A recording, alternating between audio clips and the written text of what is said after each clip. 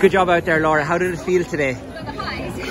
Weird. Yeah. That was a weird race. Yeah, I just. No one went with the pace or? No, it was. I don't know how to describe it. other than It was very strange. Yo-yo pacing and uh, I was running. People were running all over the place and it was. Uh, yeah, it was weird.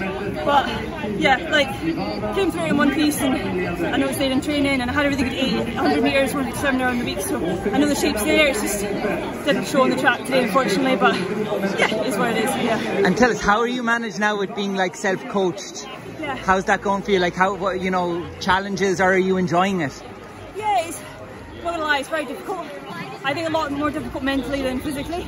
But it's um yeah, I know what I need to do now. I'm experienced enough at this, stage now, so yeah, I know what I need to do to get me in a good spot, and I'm in a good spot. It's just unfortunately not it's not shown in the races as much as I'd like it to. But yeah, it's, it's hard. I'm not gonna lie, it's very hard. Yeah. And do you, do, do you also like the challenge of it? Do you like kind of having that control over your training now? Yeah, yeah. There's certainly things you know that I've done in the past I don't agree with.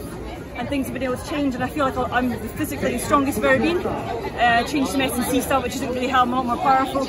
So yeah, I think there's a lot of positives coming. And you've kind of like experienced over, uh, like experimented over a couple of distances uh, this season so far 1500, 5000, 800, grade 800 the other night in the BMC. Uh, what's the idea behind that?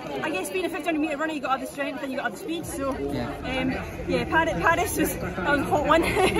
so I think I can run better over the five than my time there. But I'm really happy with 157 and 8. I know I can run a really fast time 15. Just not really had the race for it, but yeah, you've got to be good at both 15. And say for World Championships, what are you thinking and focusing on? I think 15. Brilliant. Yeah, like, I think I do have potential in the other events, but I think just keep it simple. Stick with 15 for now. Yeah. Well, you're doing a great job, Laura. Thank Keep you. it up and Thanks best luck for the rest of the season.